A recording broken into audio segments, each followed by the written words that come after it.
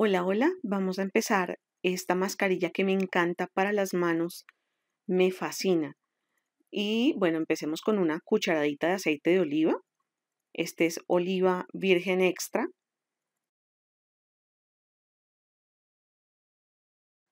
Vámonos con una cucharadita de aceite de jojoba.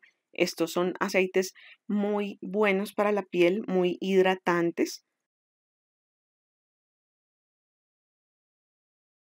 Ahora una cucharadita de miel para hidratación, iluminación de piel, como para que se vea súper lindo y saludable. Y vamos a romper o a pinchar una cápsula de vitamina E. Puedes usar cualquiera, la que es eh, cosmética o la que es oral, de consumo oral.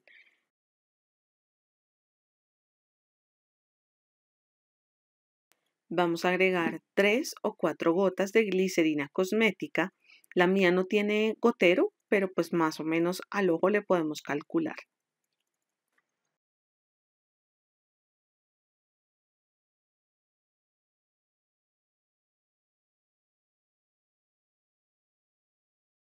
Ahora, una cucharadita de crema hidratante. Esta crema es la del D1, que tiene almendras. Es muy, muy buena.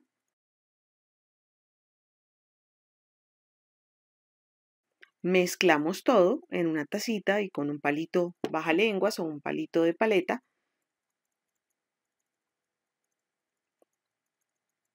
Y luego lo vamos a aplicar en la piel.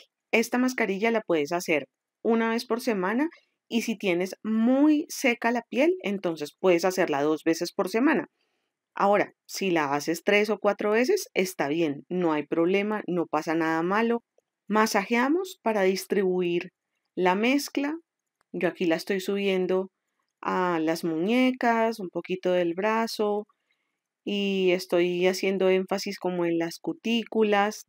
Y ahora lo que vamos a hacer es cubrir las manos con un guante plástico o una bolsa plástica. ¿Recuerdas los guantes que dan en los restaurantes?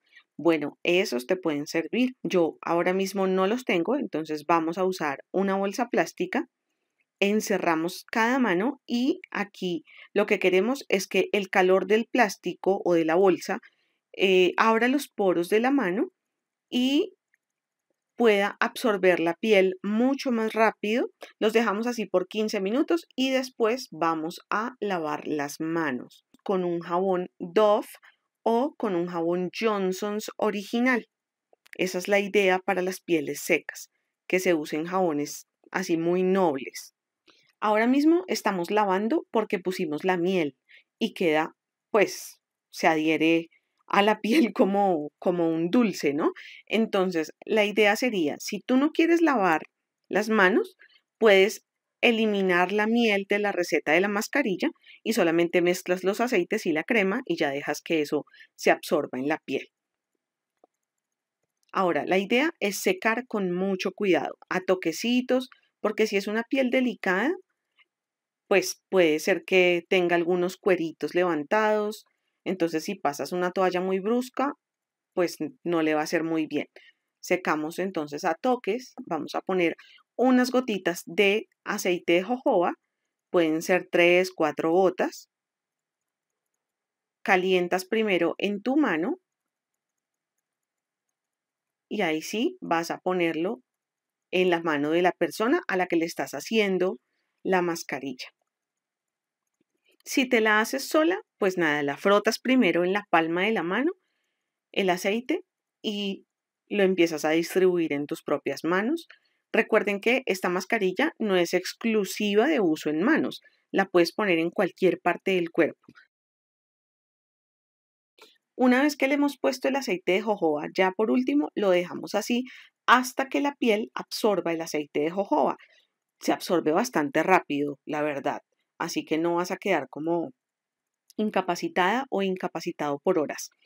Esto se lo estoy haciendo a mi papá, es decir, que hombres y mujeres pueden hacer uso de esta mascarilla que es fantástica. Ojalá sí que lo hagas por la noche. Por la noche recuerda que las células se regeneran muchísimo más rápido. Me encantó compartir con ustedes esta parte de, de cuidado de piel, el órgano más grande que tenemos en nuestro cuerpo. Cuídense mucho, que Dios les bendiga y por favor regálenos un like. un abrazo. Chao.